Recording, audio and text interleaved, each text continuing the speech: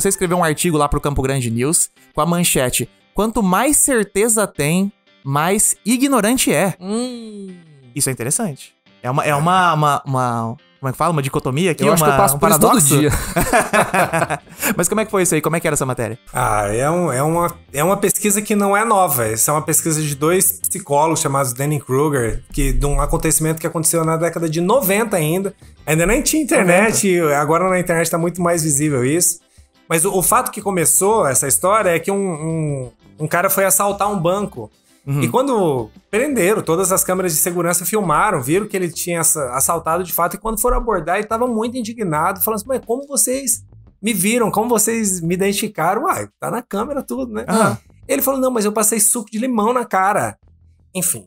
Ele tinha O que que tem a acreditado, ele tinha acreditado numa história de que as pessoas que passavam suco de limão na cara ficavam invisíveis. Nas câmeras, ou tipo ele- na vida? Pra tudo, assim, Pra pra, tudo? todo mundo. Então ele acreditou tão piamente nisso que ele Ah. foi assaltar um banco sem cobrir a cara, acreditando que ele Caramba, estava Ele invisível. tava invisível. Então, a partir daí, as pessoas, esses psicólogos eh, desenvolveram essa pesquisa em 1999, final da década de 90, Aham.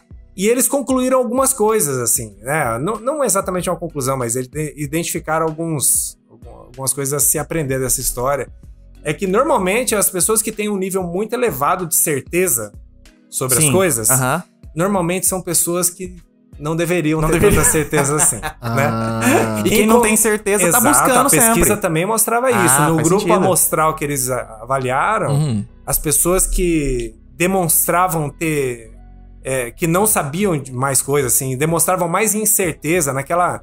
A velha lógica socrática, né? Do tudo que eu sei, o que eu nada sei. Até Aham. desde Sim. Sócrates, isso vem. As pessoas que achavam que não sabiam de muita coisa, normalmente tinham um QI mais elevado, uma capacidade de tomada de decisão mais alta. E o problema desse estudo não é nem a, a gente fala da parte caricata, mas o problema é que a pessoa que tá que tem muita certeza e acredita nessa certeza, ela acaba que tem a sua capacidade de avaliação de risco comprometida.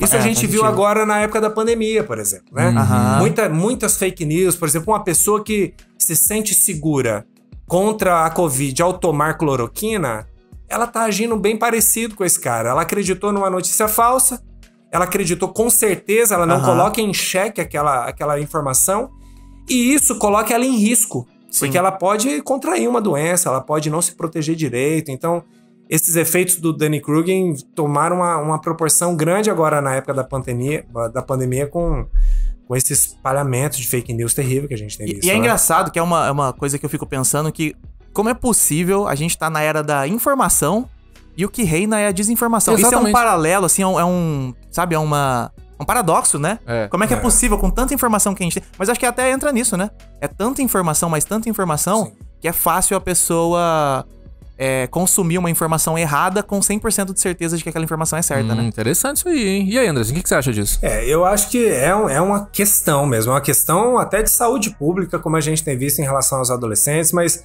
qual que é a lógica, assim? A gente tá na era, quando a gente fala que a gente tá na era da informação, normalmente a gente quer dizer que a gente tá em lugares onde a informação circula de uma maneira muito rápida e muito intensa, como as redes sociais, por exemplo, Sim. né? E essas redes sociais, elas operam numa lógica. E essa lógica não é a informação como a gente vinha acostumado na escola, por exemplo. A lógica dessas plataformas, dos algoritmos, é cativar a presença do, do, do cliente, do consumidor, pela emoção. Então, normalmente, as notícias que viralizam mais, que se espalham mais rápido, são aquelas notícias que emocionam de alguma forma, que fazem você Sim. rir, é um meme que te faz rir, é uma Te deixa informação revoltado. que te deixa É que, revoltado nossa, que mais tem. que te deixa com medo. Sabe aquela informação no, no zap da- do bairro? Fala assim, ó, passou alguém aqui estranho perto de mim. Aham. Gera uma. Tudo que gera emoção costuma reter mais atenção. E é engraçado que eu vejo cada vez mais notícias sendo dadas com emoção. Um caso clássico é o que estourou recentemente, que nem é uma fonte de informação, mas o choquei, que todas as notícias que eles dão, eles começam com o jeito que você tem que sentir.